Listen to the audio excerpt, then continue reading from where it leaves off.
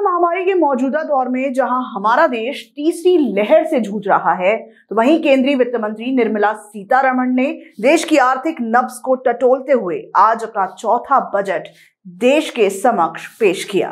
नागपुर के हमारे चुनिंदा वित्तीय विश्लेषकों की नज़र में इस बजट में क्या मायने हैं और कैसा होगा हमारा आगामी वित्तीय वर्ष 2022-2023 का बजट, आइए जानते हैं वीकेबी न्यूज़ की इस खास पेशकश में।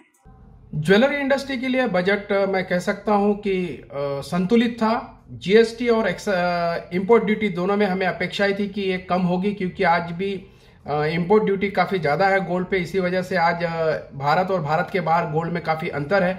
सेम ऐसे ही जीएसटी को लेके भी था। इस इंडस्ट्री में करीब पहले वैट जो वन परसेंट था, वो बाद में थ्री परसेंट जीएसटी में परिवर्तित हुआ था। तो इंडस्ट्री को लगा था कि अभी जीएसटी का अच्छा खासा कलेक्शन गवर्नमेंट के पास आया है। तो शायद इस वजह से जीएसटी कम हो सकती है परंतु नहीं हुई। ओवरऑल संतोषजनक बजट मैं कह सकता हूँ किसी प्रकार के नए रिस्ट्रिक्शंस इस इंडस्ट्री पे नहीं है। यही हम लोग थोड़ा सा इसी में काफ़ी खुश है। और अगर जीएसटी अभी भी कम होती है आगे भविष्य के लिए तो इससे बढ़िया कुछ नहीं इंडस्ट्री बहुत हैप्पी रहेगी। अपने सपनों की उड़ान भरने की इच्छा तो हर किसी की होती है।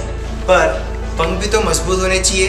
जो देता है Flywheel Aviation Academy Flywheel Aviation Academy एक ऐसा इंस्टीट्यूट है जहाँ पर एयरलाइंस एंड एयरपोर्ट हॉस्पिटैलिटी और टूरिज़्म मैनेजमेंट साथ ही यहाँ campus interview guidance by industry expert practical training at airport expert faculty personal grooming जैसे कई सारे बेनिफिट आप पा सकते हैं। Flywheel Aviation Academy one degree three job opportunities Flywheel Aviation Academy gives you a degree और diploma with a job Flywheel Aviation Academy 365 Gandhinagar LAD college square decide Karnataka bank Nagpur